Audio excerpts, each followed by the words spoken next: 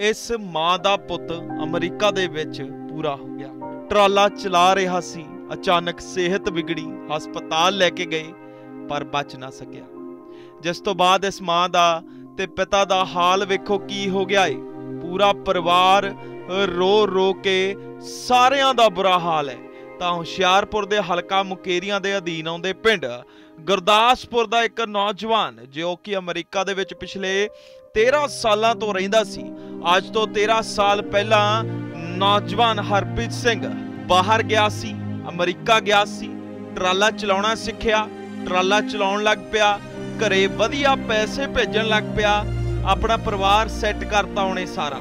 ਪਰ ਅਚਾਨਕ ਟਰਾਲਾ ਚਲਾਉਂਦੇ ਨੂੰ ਪਤਾ ਨਹੀਂ ਕੀ ਹੋਇਆ, ਸਿਹਤ ਵਿਗੜ ਗਈ, ਜਿਸ ਤੋਂ ਬਾਅਦ ਉਸ ਨੂੰ ਹਸਪਤਾਲ ਲੈ ਕੇ ਜਾਇਆ ਗਿਆ ਤੇ ਉਸ ਦੀ ਮੌਤ ਹੋ ਗਈ ਆ। ਤਾਂ ਹੁਣ ਪਰਿਵਾਰ ਦਾ ਤੇ ਪੂਰੇ ਪਿੰਡ ਦਾ ਰੋ ਰੋ ਕੇ ਬੁਰਾ ਹਾਲ ਹੈ, ਸੋਗ ਦੀ ਲਹਿਰ ਹੈ, ਕਿਉਂਕਿ ਬਹੁਤ ਹੀ ਲੋਕਾਂ ਦਾ ਕਹਿਣਾ ਹੈ ਕਿ ਬਹੁਤ ਹੀ ਬੀਬਾ ਮੁੰਡਾ ਸੀ, ਜਦ ਵੀ ਅਮਰੀਕਾ ਤੋਂ ਆਉਂਦਾ ਸੀ, ਚੰਗੀ ਤਰੀਕੇ ਦੇ ਨਾਲ ਸਾਰਿਆਂ ਨੂੰ ਬੁਲਾਉਂਦਾ ਸੀ। 13 ਸਾਲ ਪਹਿਲਾਂ ਆਪਣੇ ਸੁਪਨੇ ਪੂਰੇ ਕਰਨ, ਆਪਣੇ ਪਰਿਵਾਰ ਦੀ ਜਿਹੜੀ ਆਰਥਿਕ ਸਥਿਤੀ ਆ, ਉਸ ਨੂੰ ਸੁਧਾਰਨ ਦੇ ਲਈ ਬਾਹਰ ਗਿਆ ਤੇ ਮੁੜਿਆ ਨਹੀਂ। 13 ਸਾਲ ਹੋ ਗਏ ਸੀ ਉਹਨੂੰ ਅਮਰੀਕਾ 'ਚ ਰਹਿੰਦਿਆਂ ਘਰ-ਬਾਰ ਸੈੱਟ ਕਰਤਾ ਸੀ ਉਹਨੇ ਪੂਰਾ। ਬਾਪੂ ਨੂੰ ਕਹਿਤਾ ਸੀ ਕਿ ਟੈਨਸ਼ਨ ਲੈਣ ਦੀ ਲੋੜ ਨਹੀਂ, ਪਰ ਹੁਣ ਉਹੀ ਬਾਪੂ ਆਪਣੇ ਪੁੱਤ ਨੂੰ ਯਾਦ ਕਰ ਕਰਕੇ ਰੋ ਰਿਹਾ ਏ ਤਾਂ ਬਹੁਤ ਹੀ ਬੁਰਾ ਹਾਲ ਏ।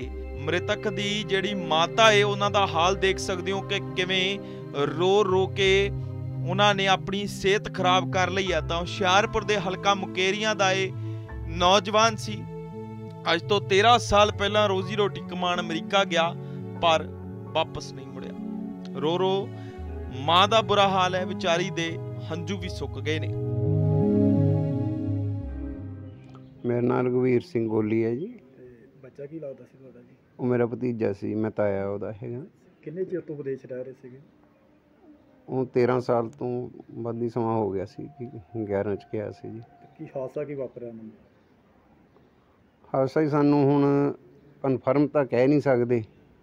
ਜੋ ਸਾਨੂੰ ਪਤਾ ਲੱਗਿਆ ਵੀ ਉਹਨੂੰ ਤਬੀਅਤ ਖਰਾਬ ਹੋਈ ਸੀ ਫਲੂ ਬੁਖਾਰ ਵਗੈਰਾ ਹੈਗਾ ਸੀ। ਦੀ ਮੀਨ ਟਾਈਮ ਉਹ ਕੰਮ ਤੇ ਹੈਗਾ ਸੀ।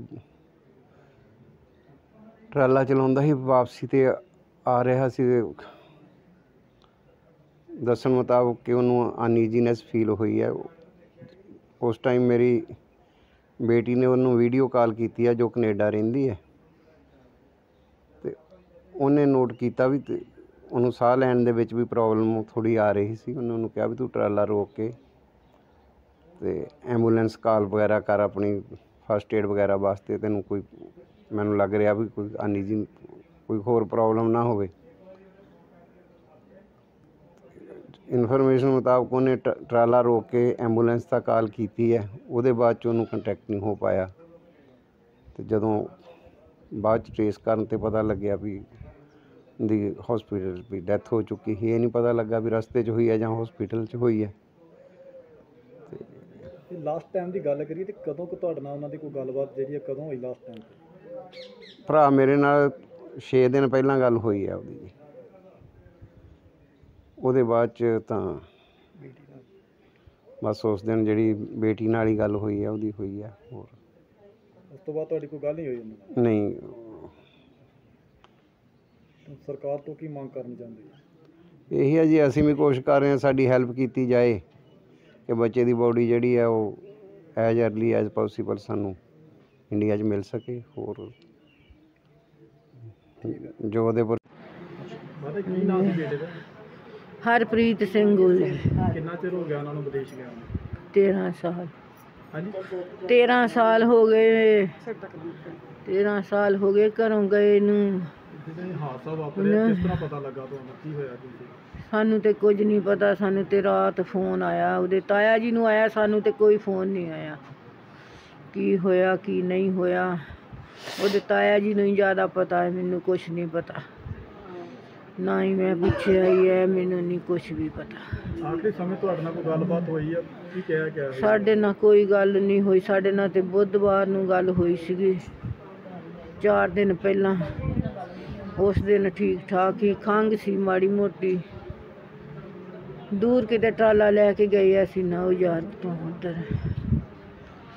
ਅਸੀਂ ਸਗੋਂ ਉਹਨੂੰ ਕਿਹਾ, ਤੈਨੂੰ ਖੰਘ ਜ਼ੁਕਾਮ ਹੋਇਆ? ਕਹਿੰਦਾ, ਨਹੀਂ, ਮੈਨੂੰ ਇੱਥੇ ਆ ਕੇ ਅੱਜ ਹੀ ਹੋਇਆ, ਕਿਉਂਕਿ ਇੱਥੇ ਮੌਸਮ ਠੰਡਾ ਬੜਾ ਸੀ ਮੈਂ ਬਿਲਕੁਲ ਠੀਕ ਠਾਕ ਹੀ। ਫਿਰ ਉਹਨੇ ਕੋਈ ਗੱਲ ਨਹੀਂ ਕੀਤੀ ਸਾਡੇ ਨਾਲ, ਹੋਰ ਬਸ ਠੀਕ ਠਾਕ, ਰਾਜੀ ਖੁਸ਼ੀ ਹੋਈ, ਹੋਰ ਕੋਈ ਗੱਲ ਨਹੀਂ ਕੀਤੀ ਸਾਡੇ ਨਾਲ।